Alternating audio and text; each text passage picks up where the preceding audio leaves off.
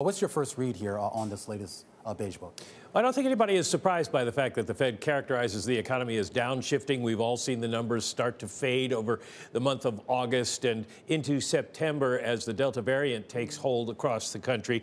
Uh, Taylor mentioned the JOLTS numbers, and that is referenced in the minutes today as uh, demand for workers continues to strengthen, the minutes say, but all districts noted extensive labor shortages that are constraining employment and, in many cases, impeding business activity.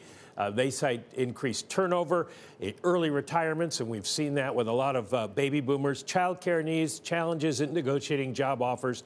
And they do mention the enhanced unemployment benefits that went away on Monday. So we'll see if that changes going forward. But for right now, they say because there's a shortage of employees, we're seeing an acceleration in wages, wage growth characterized as strong and especially brisk among lower wage workers. They're using more frequent raises, bonuses, training, and flexible work arrangements to try to get a hold of people. By the way, they say the deceleration in economic activity largely attributable to pullbacks in dining out, travel, and tourism, with the exception of Ms. Riggs, who uh, has been all over the country over the, the last month or so. My part. The other sectors of the economy where growth slowed constrained by not only the labor shortages, but by the supply disruptions you were mentioning, Carol. Yeah.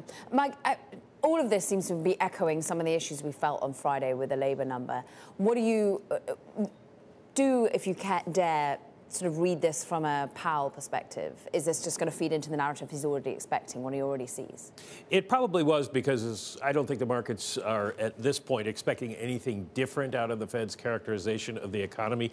John Williams, the uh, vice president of the Open Market Committee, president of the New York Fed, uh, was just speaking and said that he needs to see more and better data before he decides that the labor part of the Fed's mm. mandate has been met. They pretty happy with the, where inflation is at the moment, but they want to see more job growth. And we just don't know. This was supposed to be, September is supposed to be the month when things will turn around yeah. because we've got back to school, we've got the end of the enhanced employment benefits.